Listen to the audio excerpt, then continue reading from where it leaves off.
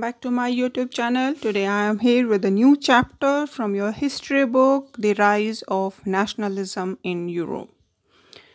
Students इस chapter को काफ़ी डिफ़िकल्ट समझते हैं उन्हें हिस्ट्री ही बड़ी डिफ़िकल्ट लगती है बट हिस्ट्री uh, उतनी भी बोरिंग नहीं होती यदि उसको इंटरेस्टिंग वे में समझा जाए आज मैं आपको ये चैप्टर स्टेप बाय स्टेप बड़े इजी वे में समझाने वाली हूँ तो आपका कंप्लीट फोकस वीडियो पे होना चाहिए फ़र्स्ट आप राइटिंग या पॉइंट नोट करने की बजाय या स्क्रीनशॉट लेने की बजाय कंप्लीटली फोकस के साथ पहले इस वीडियो को पूरा देखें।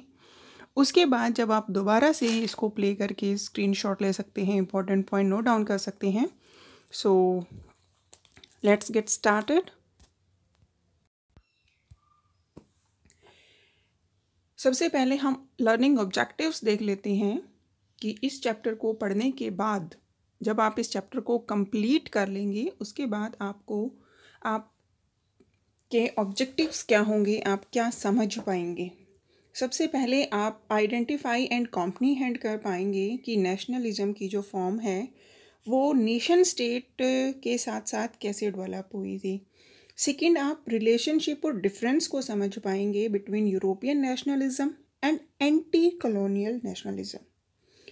और आप ये भी समझ पाएँगे कि ऐसा कौन सा वे था जिससे जो आइडिया ऑफ़ नेशनलिज्म वो इमर्ज हुआ। When we start our chapter then first हमारे सामने ये इमेज आती है, जैसे ही हम चैप्टर को शुरू करते हैं और ये क्या दिखा रही है। चलिए पहले इसी को समझ लेते हैं। ये जो इमेज है, ये एक फ्रेंच आर्टिस्ट थे फ्रेडरिक सोरियो उन्होंने फोर पेंटिंग्स की एक सीरीज़ बनाई थी और उस सीरीज़ की ये फ़र्स्ट पेंटिंग है। इसके अंदर उन्होंने एक Frederic Sorrieu was visualising his dream of a world made up of democratic and social republic जो यूरोप और अमेरिका के पीपल हैं, वो एक ट्रेन के जैसे बना करके और स्टैचू ऑफ़ लिबर्टी को अपनी होमेज पे करते हुए यहाँ से मार्च पास्ट कर रहे हैं।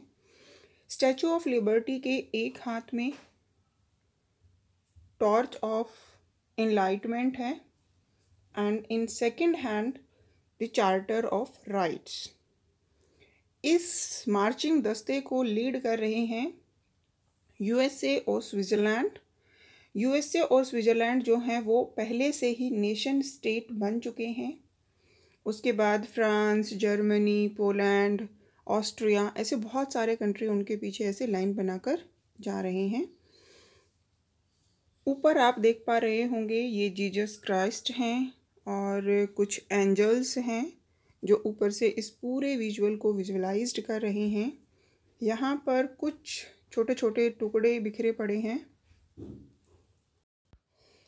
ये एब्सोल्यूस्ट जो गवर्नमेंट थी उसके टुकड़े बिखरे पड़े हैं। एब्सोलिस्ट का मतलब क्या होता है? ये एक गवर्नमेंट की फॉर्म होती है जिसके ऊपर पावर के ऊपर जिसका कोई रेस्टोरेंट्स नहीं होता है। uh, हमारी हिस्ट्री में the term refers to a form of monarchical government that militarised centralised and repressive. और ये जो कंप्लीट पेंट है, ये जो कंप्लीट पेंटिंग है फ्रेडरिक सोरियो की, उन्होंने इसको एक यूटोपियन ड्रीम माना था, जिसे वो फुलफ़िल करना चाहते थे कि पूरे कंट्री के पूरे यूरोप के अंदर डेमोक्रेसी होगी एंड कलेक्टिविज़म होगा। तो ये उनका एक यूटोपियन ड्रीम था। Utopian dream means vision of society that is so ideal that is unlikely to actually exist कहने का मतलब है कि यूटोपियन जो ड्रीम होता है, वो एक ऐसी कल्पना होती है, एक ऐसी इमेजिनेशन होती है कि एक, हम एक ऐसा आदर्श समाज स्टैब्लिश करेंगे जिसमें कोई भी चोरी, डकैती, हत्या गैम्बलिंग लिकर इस तरह की कोई भी बैड हैबिट ना हो। और सब लोग जो हैं वो मिलजुल कर शांति से प्रेम के साथ रहें, जैसे हम कह सकते हैं एक तरह से राम राज्य। तो ये पॉसिबल नहीं है। यूटोपियन ड्रीम मीन्स ऐसी इमेजिनेशन जो पॉसिबल ही ना हो सके।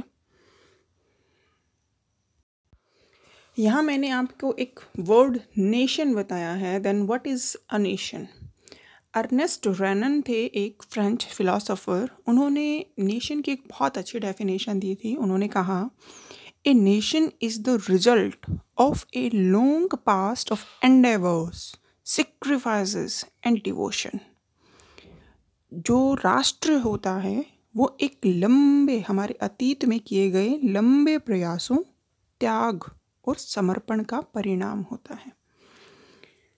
उसके बाद उसके बाद हम फ्रेंच रेवोल्यूशन पर आ जाते हैं, क्योंकि ये जो आइडिया था नेशन का नेशनलिज्म का, ये कहाँ से इमर्ज हुआ था? फ्रेंच रेवोल्यूशन से। फ्रेंच रेवोल्यूशन आप नाइन्थ क्लास में पढ़ चुके हो 1789 में हुआ था, और ये फ़र्स्ट एक्सप्रेशन था यूरोप में नेशनलिज्म का। इसके अंदर जो पीपल हैं, वो डेमोक्रेसी की डिमांड कर रहे थे, और डेमोक्रेसी आएगी कब जब मोनार्की सिस्टम ख़त्म हो जाएगा। और उन्होंने इसे प्राप्त भी कर लिया था। उन्होंने वहाँ की मोनार्की सिस्टम को हटा करके और वहाँ डेमोक्रेसी को इस्टेब्लिश किया था। इसके बाद नेशनलिज़म होता क्या है? नेशनलिज़म एक सेंटिमेंट है, एक सेंस है जिसके साथ हम अपनी कंट्री अपनी नेशनलिटी और कल्चर के साथ जुड़ा हुआ महसूस करते हैं। आप कह सकते हो कि एक देशभक्ति की भावना है, एक फीलिंग है जिससे हम अपने कंट्री पर, अपनी कल्चर पर, अपनी नेशनलिटी पर प्राउड फील करते हैं। उसके बाद जब फ्रेंच रेवोल्यूशन हुआ और फ्रांस में डेमोक्रेसी को इस्टेब्लिश कर दिया गया तो वहाँ पर कुछ स्टेप्स उठाए गए ताकि जो लोग हैं वो कलेक्टिव महसूस कर सकें, एक दूसरे से जुड़ा हुआ महसूस कर सकें। तो उनमें सबसे पहले वहाँ का जो फादरलैंड यानी कि ला पैट्रे और ली सिटियन यानी कि फ्रांस ही हमारी पितृभूमि है और हम इसके सिटीजन हैं। नया फ्रेंच फ्लैग बनाया गया, फ्रेंच लैंग्वेज को वहाँ की ऑफिशियल लैंग्वेज बना दिया गया, जो स्टेट जनरल थी कॉमन पीपल की, और उसको हटा करके नेशनल असेंबली घोषित कर दिया गया।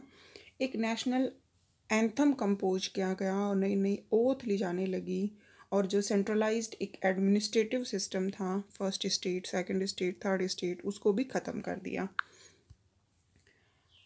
यूनिफॉर्म सिस्टम लाया गया वेट्स और मेजर्स के लिए। अलग अलग रूल्स यूनिफॉर्म लॉज कंस्ट्रक्ट किए जाने लगे। जो कस्टम ड्यूटीज़ थी, उनको ख़त्म कर दिया गया। फ्रेंच रेवोल्यूशन जो फ्रेंच रेवोल्यूशनरीज थे, वो चाहते थे कि यूरोप के जो दूसरे नेशन हैं, उनकी भी हेल्प की जा सके। और वहाँ पर भी जो नेशनलिज़म है, वो स्प्रेड किया जा सके इसके लिए जो स्कूल और कॉलेजेस हैं के स्टूडेंट्स थे, उन्होंने नए नए क्लब बनाने शुरू कर दिए, जिसको नाम दिया गया जेकॉबियन क्लब और फ्रेंच आर्मी ने ये जिम्मा उठाया कि वो पूरे यूरोप के अंदर इस नेशनलिज्म के आइडिया को स्प्रेड करेगा और इसलिए उसने अलग अलग कंट्री में जाना स्टार्ट कर दिया। Here you can see the national anthem of France जिसका नाम था ला मर्सले ये उनका न्यू फ्रेंच फ्लैग है। ये कॉमन पीपल की असेंबली थी जिसे नेशनल असेंबली में कन्वर्ट कर दिया गया। So that's all for today if you like my video then please share and subscribe thank you